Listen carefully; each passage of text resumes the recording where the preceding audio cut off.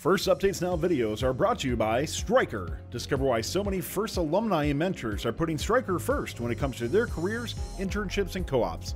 Visit careers.stryker.com forward slash first to learn more.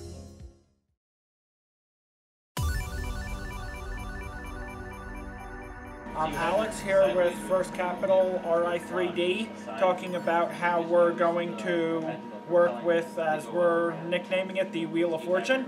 So I built my mechanism earlier in the day as a prototype and I just left it as a simple angle bracket so we can mount this to the robot in a number of different ways because there's still so many variables.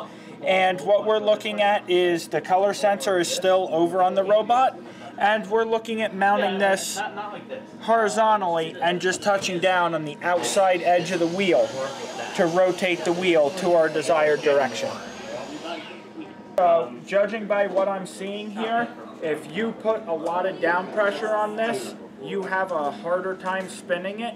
If you just gently push down on this, it spins really easy.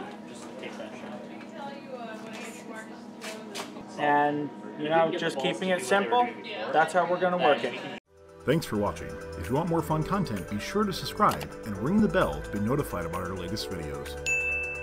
You can also directly help support Fun by visiting our Patreon at patreon.com forward slash first updates now or by subscribing at twitch.tv forward slash first updates now. Thanks to all of our co-executive producers on Patreon and Tier 2 Plus subscribers on Twitch, keeping fun loud, live, and independent.